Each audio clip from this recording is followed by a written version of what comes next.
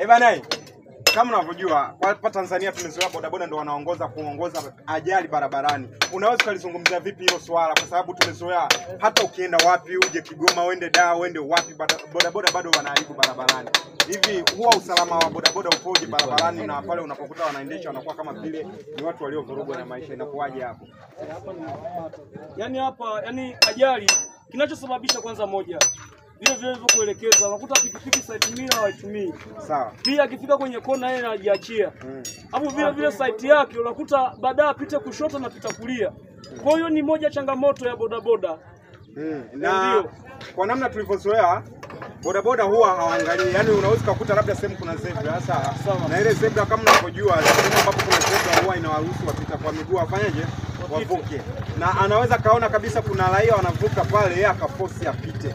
Lile swala kama nyie boda bodaboda unaoana wanaende- wanaendesha, huwa labda inakuaje kuaje, huwa hawajui sheria za barabarani au ni kama tabia yao ambayo ni walishaizoea?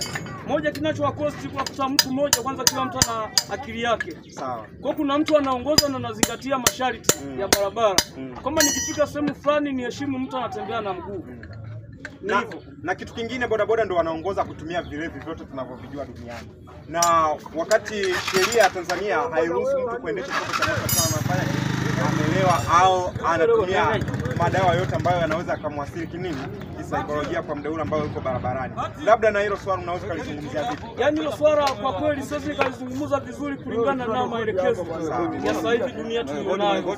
Dunia tulionayo na maana vingi vilevi vimetukumba sana sisi vijana. Kuna kuta mtu anashindwa kujikontrol kulingana na kile chombo amekipata na hela anazozipata, anaona tu nitumie vilevi na mimi niishi kama wengine. Lakini kwa nini asivitumie ule muda ambao unakuta ametoka kazini? Hapo sasa Mungu ashamuumba hivyo, kwa hiyo ishabidi ndivyo ilivyo. wewe. sawa, unasemaje? Asante, nashukuru sana kaka, nashukuru kwa kupiga Sawa. moja mbili tatu na wewe.